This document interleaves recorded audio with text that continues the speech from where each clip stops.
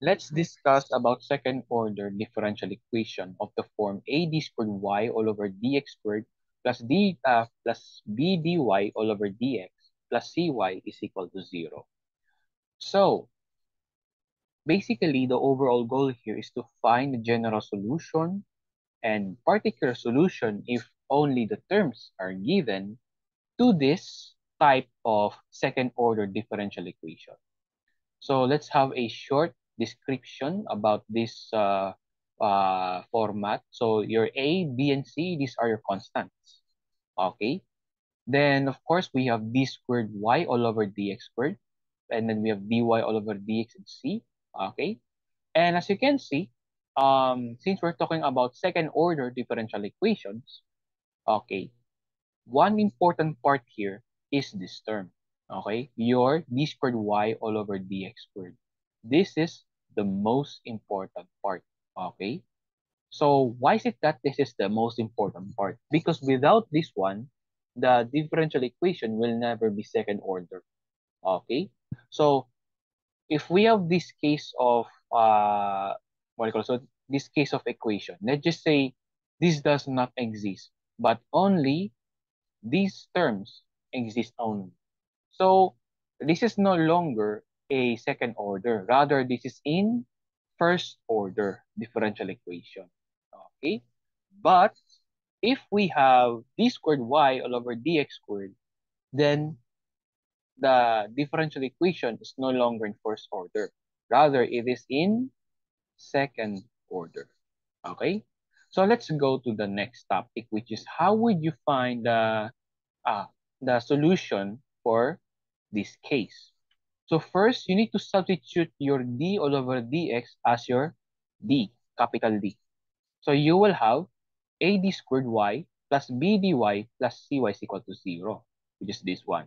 Okay? Then, as you can see, um, the terms here has y, so you can factor out y here. So you will have quantity ad squared plus bd plus c times y is equal to 0. So this is what you call the d operator form. Okay? Then after that, you're going to substitute your d as your m. Okay? Then equate this trinomial to the zero. So we will have am squared plus bm plus, li, uh, plus c is equal to zero. So this is what you call as your auxiliary equation. Okay? So now that this is your auxiliary equation, you're going to find your m. Okay? So since this looks like a trinomial and it is a quadratic equation, so you're going to use methods of factoring and quadratic formula, all right? Or either of those methods, you can uh, basically use it. Okay, so quadratic formula or other methods of other methods of factoring, it's up to you. And of course, since it is a quadratic equation, expect that your uh, result should have two values or to be particular, two m values. So since there would be two m values, then expect that there will be three conditions. So what are the conditions? First, condition is that if we have two different, ah, wait, hold on, there we go. So if we have two different m values, okay, meaning you have found your m values, both of them are real, but they are different to each other. So you are going to use this as your general solution, where in here, uh, you see these letters, small letter A and small letter B. These are your real m values. So for example, let's just say I have a uh, I have an auxiliary equation which is m squared minus 5m plus 6. So if I'm going to factor this out, I will have uh, m minus 3 times m minus 2. So I will have m is equal to 3 and m is equal to 2. So if you're asking me, how did I get m minus 3 and m minus 2? I simply equate these two binomials by 0. So I transpose negative 3 here on the right side, I will have m is equal to 3. If I transpose negative 2 here on the right side, I will have m is equal to 2. Hence, I have two m values. So, since I have two different m values, but both of them are real, therefore, I am going to use this general uh, solution. So, I will have y is equal to ae raised to 3x plus be raised to 2x. Okay. So, you can make this as your A and this one as your B or vice versa. It's up to you because it doesn't matter which one would be your small a or which one would be your small b. It doesn't matter. All it matters is at least you found your m value and you use the correct general solution. But what if, let's just say we have two the same m values, which is your second condition. So if you have two the same m values, then you're going to use y is equal to quantity ax plus b times e raised to small ax. So let me give an example. Let's just say I have, oops, let's just say I have m squared plus 6m plus 9 is equal to 0. So this is your auxiliary equation. Okay. So if I'm going to factor this out, I will have m plus 3 times m plus 3. So see, both of them are the same. So if you're going to combine them both, I will have m plus 3 squared. Wait. So I will have m plus 3 squared is equal to 0. Okay? So that means I have 2m plus 3 and both of them are the same. So by finding your m, you can square root this one both sides. You will have m plus 3 is equal to 0 and transpose 3 to the right, you will have m is equal to negative 3. So therefore, your general solution would be y is equal to uh, quantity ax plus b times e raised to negative 3x. Okay? That's it. Okay, that's how you basically do it. So that's good for the second condition, but what if we have complex m values? Basically, we have a result of an imaginary uh, answer. So if your result is an imaginary uh, answer, you are going to use this formula as formula. You're going to use this general solution. y is equal to quantity a times cosine of small bx plus b times sine of small bx times e raised to small ax. You will know if your a, uh, your a is your m value. Ah, wait, sorry, sorry. Let me fix that. You will know that your value is your a if it's in this form. And you will know that your value is your b if it's partnered with your imaginary number. So if you have m is equal to a plus or minus bi or your imaginary number, then you have your a as your um, exponent here in your e and your b as your the inputs of the given trigonometric function. So that's how you do it. Okay. So let's try to have some examples. Okay. So before anything else, if ever, for example, you're too lazy to figure out if this auxiliary equation will give you two different m values, the same m values, or complex m values, you can just base it on here, b squared and 4ac. If your b squared is greater than your 4ac, then that means you are going to use this general solution. Okay? It shows that you have two different m values. But if they are the same, then you're going to use this general solution. And lastly, if b squared is less than your 4ac, you are going to use this general solution. So let's go uh, apply it to our given examples. We have d squared y all over dx squared plus 4dy plus 4y is equal to 0. Now, the first step here is to substitute your uh, d all over dx as your d. You will have d squared y plus 4 dy plus 4y. Now, what you're going to do is you're going to factor out y here in this expression. You will have d squared plus 4d plus 4 times y is equal to 0. Okay.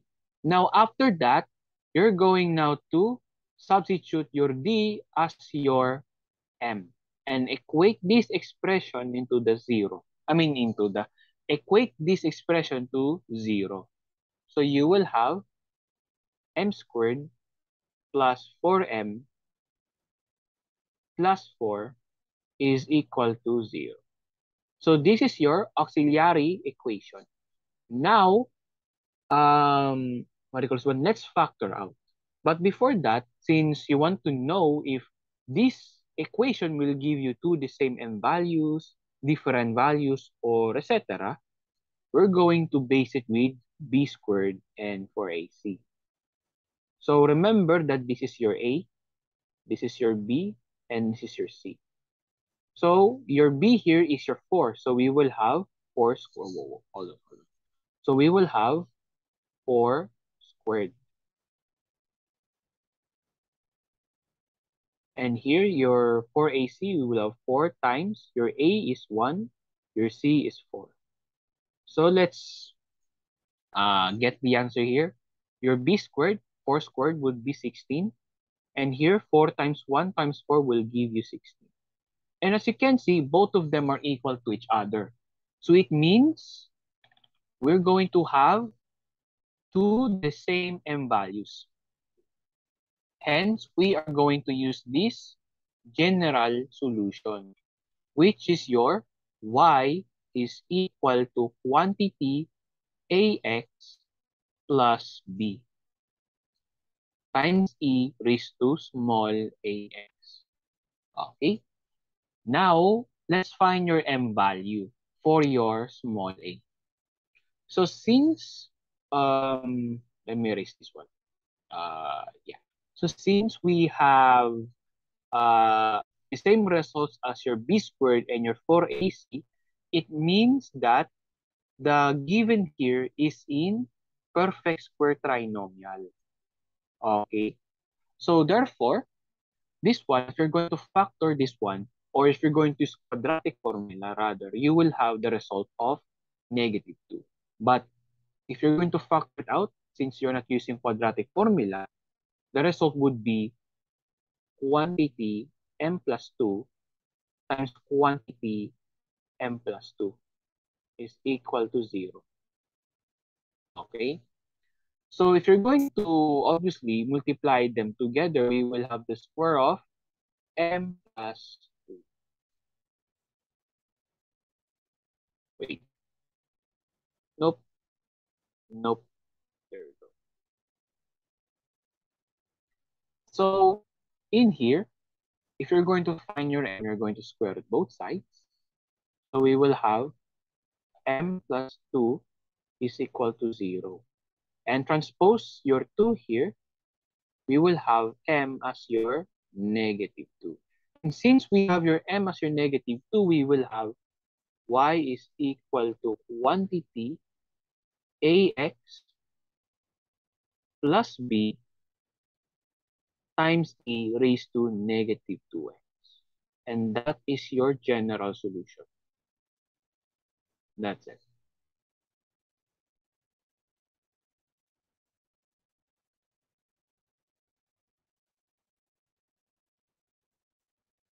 Forgive my handwriting, but at least it's readable. So let's have one more example. Okay. let's just say we have this one. Okay. 5d squared t all over dn squared minus 50 dt all over dn plus 250t is equal to 0. So as you can see, there is a difference of the letters that we used earlier. So earlier, we used y and x. Now we use d, ah, sorry. now we use letter t and letter n. So that means your t here, since it is above or in the numerator, this is your dependent variable. Okay.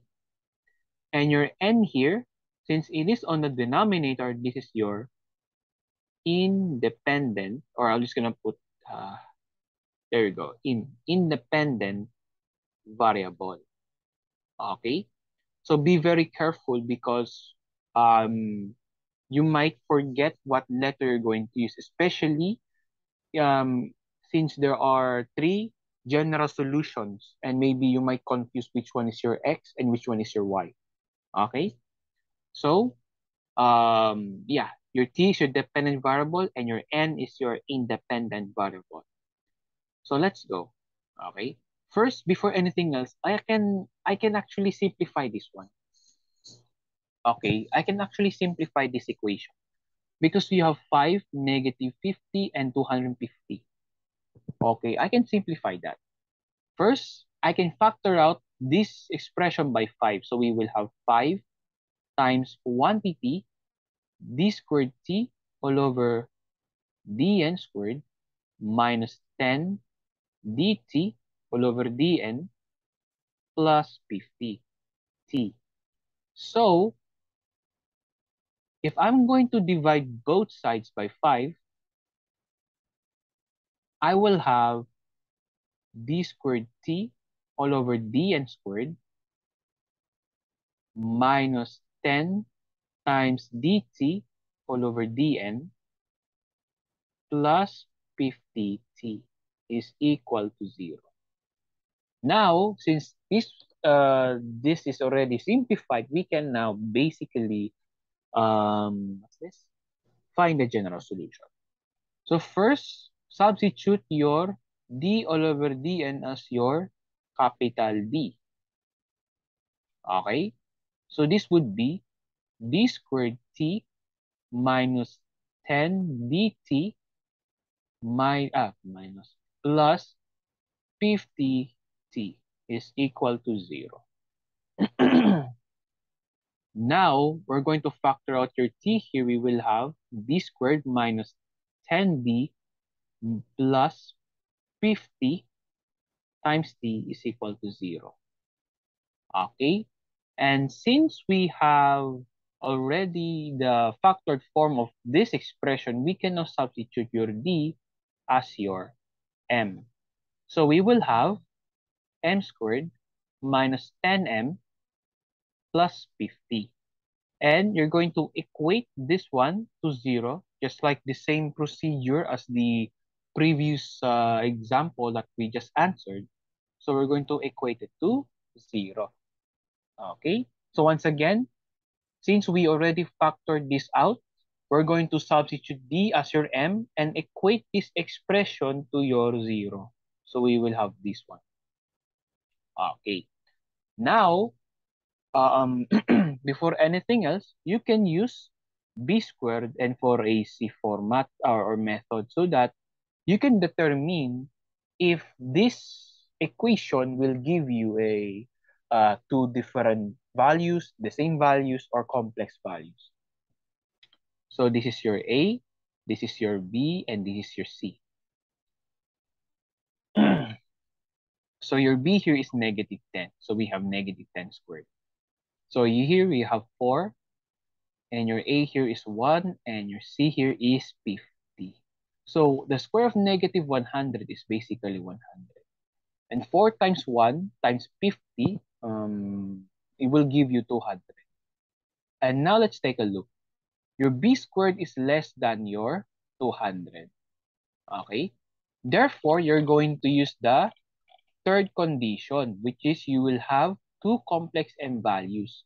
So you're going to use this, um, what do you call this one? You're going to use this uh, general solution.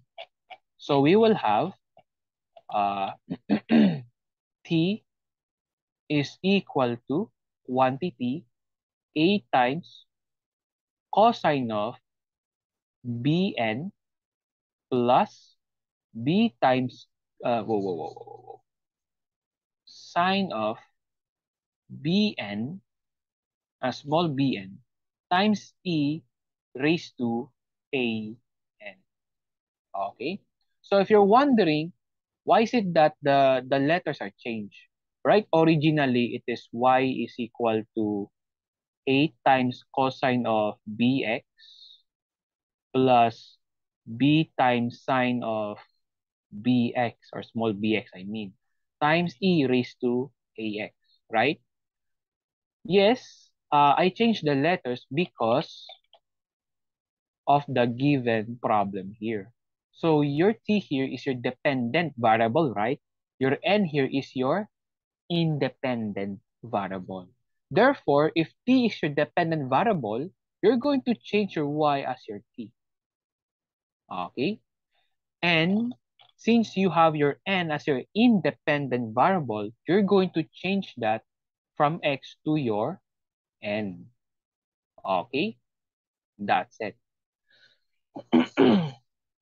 so, just like what I told you before, uh, before, just like what I told you earlier, be very careful of the given letters you have. Okay? So, let's now proceed Now, let's find your values here for your m. And since we all know that it will result to complex values, right? So what we're going to do is we're going to use quadratic formula. Okay? So let's use quadratic formula. So we will have negative b plus or minus square root of b squared minus 4ac all over 2a. So here your negative b will give you positive 10 or just to take it slow, your b is negative 10 plus or minus square root of the square of negative 10 minus 4 times 1 times 50. Okay. So we will have also denominator 2 times 1 because your a is 1. Wait, let me fix that. So here we will have 10 plus or minus square root of 100 minus, uh, yeah, 200. Okay, am I right? So I'm just going to check. Okay, I'm correct. Let's go back. So this is your 2. 2 times 1 is 2. So we have 10 plus or minus. So 100 minus 200, ah, 100 minus 200 will give you negative 100 all over 2. So if you're going to uh, simplify this one, square root of negative 100, this will give you, um, hold on, 10 plus or minus 10i. Okay? Because remember that the square root of 100 is 10. But since we have negative 100, so it will become 10 times i or 10i. Okay? All over 2. And now you can, you can simplify this one. 10 plus or minus 10i all over 2 will give you 5 plus or minus, wait wait, wait. 5 plus, uh, wait, wait. 5 plus or minus 5i. So this is your m value. Okay. So recall, let's go back again. Okay. Your a is basically just a constant. Okay. And your b is partnered with your i. So your a would be the input or basically the exponent for your E, and your B will be the input here for your trigonometric functions. So going back, this is your A, and this is your B. So we will have T is equal to 1 TT A times cosine of uh, bn or 5n. Okay? Plus b times sine of uh, your small b, 5, then n, then times e raised to a, which is 5, times n. So that is your general solution. Okay? Now let's have one more practice. Let's just say we want to find a particular solution for this one. Okay? So let's just say that your n is equal to 0. Okay? Then your t is equal to 4. And your dt all over dn is equal to 2. Find the particular solution for this one. So it's simple. Just, sim just simply substitute. so going here, okay, so your t is equals to 4. So we will have 4 is equal to quantity a times cosine of, since your n is equals to 0, so we will have 5 times 0 plus you have b times sine of 5 times 0.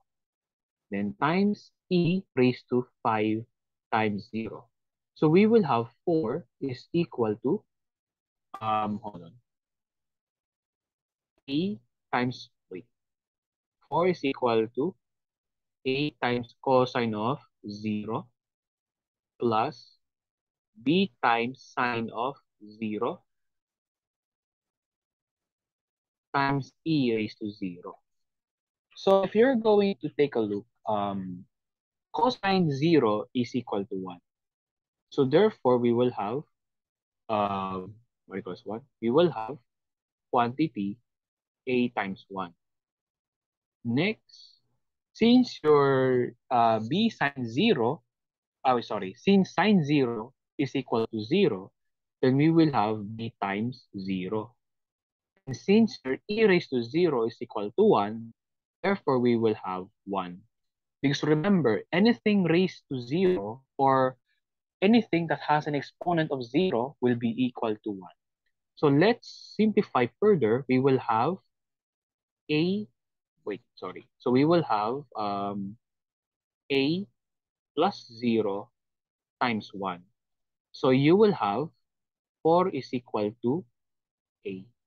So your a is equal to 4. Okay. Now, how would you find your b? Are we going to substitute your uh your what do you call this one? Your a in here? Then let's redo it again. The answer is no. Okay. That's already wrong if you're going to do that. Also, remember that we have dt all over dn, right? So if we have dt all over dn is equal to 2, therefore you're going to get the derivative for this one, okay? Your general solution, okay? So we will have dt all over dn is equal to, you, you're going to use, uh, what do you call this one? Product rule here.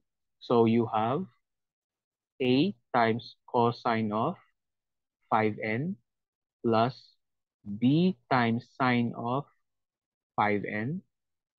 Then here we will have times 5e raised to 5n plus we will have uh, e raised to 5n times negative 5a cosine of 5n plus, wait, wait, plus 5b times, uh, wait, wait, wait, sorry, sorry. I'm actually wrong. 5a times sine 5n plus uh, 5 times uh, 5b times cosine of 5n. Okay? So if you're asking me how did I get this, I use product rule of differentiation. So if you don't know how to do product rule of differentiation, I suggest you should um, uh, go back to that lesson first so that you will have the idea. So let's now substitute. So your dt all over dn is your 2. Okay. Then let's substitute. So your a here is 4. So we will have 4 times cosine of, since your n is equal to 0, so we will have 5 times 0 plus b times sine of uh, 5 times 0 times 5 times e raised to 5 times 0 plus e, wait, hold on, plus e raised to 5 times 0. Okay, and then here we will have negative 5 times 4 times sine of 5 times 0 plus 5b times cosine of 5 times 0. Okay. So here, we will have 4 times. Since uh, here, if you're going to multiply 5 times 0, it will become 0, right? So we will have cosine 0. So cosine 0 is equal to 1. So therefore, we will have 4 times 1. Okay. So this would be 4 times 1. Okay, plus. Here we have your b. Your b here, okay, we have sine times 5 times 0. So once again, if you're going to multiply 5 and 0, we're going to have 0. And since sine 0 will equate to 0, then we will have b times 0. So here we will have 5 times e raised to 5 times 0. So again, multiply 5 times 0 will become 0. So it will become e raised to 0.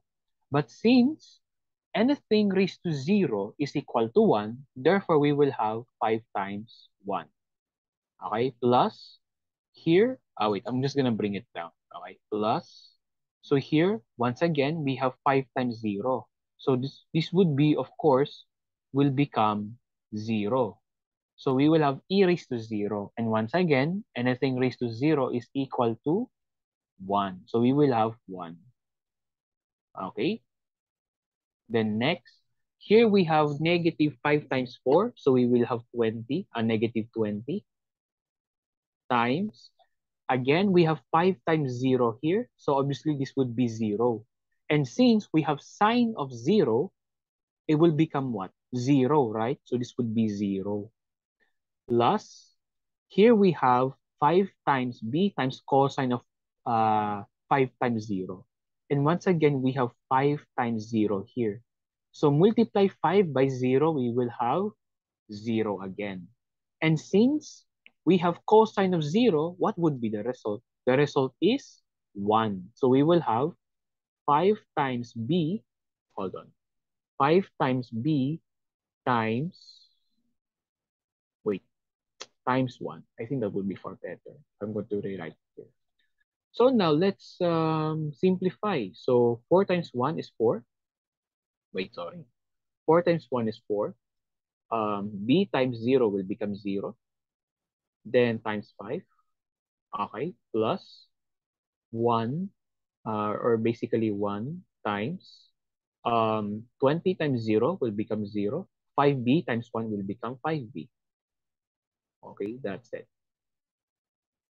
So now let's uh, simplify further. 4 plus 0, we will have 4 times 5 plus 1 times 0 plus 5b will become 5b.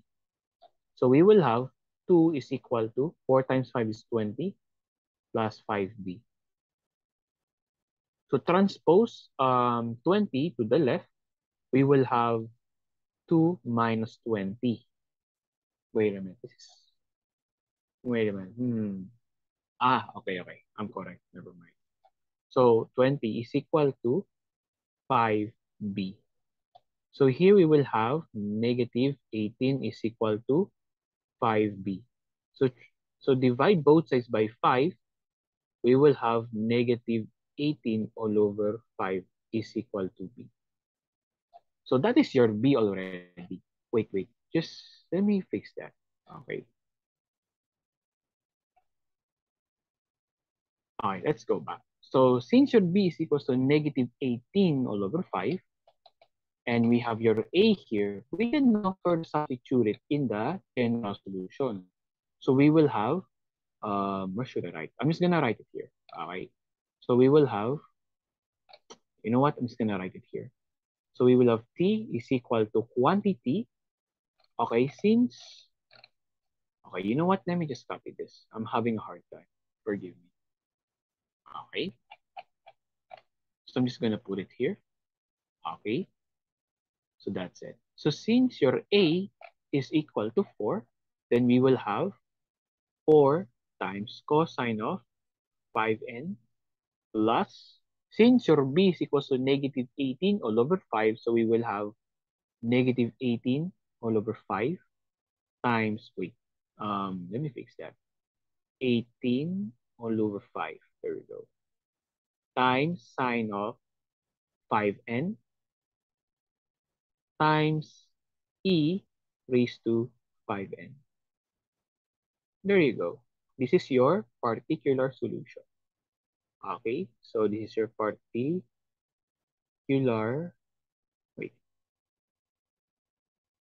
solution. Okay, And let me copy the general solution here. So that's it, guys. Um, that's how you basically find the general solution, particular solution, or both solutions, if and only if they are in this format, okay? Wherein you have the group of terms here that are equal to zero, okay? because it would be a different scenario if your um if your right side of the equation is not zero. Okay, that would be a different scenario already. But if you have zero on the right side, then you're going to follow these formats okay, or these steps. Okay. And since this is equal to zero, this is a homogeneous DE. Okay? Because you will know if it's a homogeneous if on the right side of the equation, or at least, no, not at least, but um, one of the side of the equation is equal to zero. And since we have zero on the right, this is basically a homogeneous the second order differential equation. Okay? So, yeah, I think that's all I can give. So, yeah.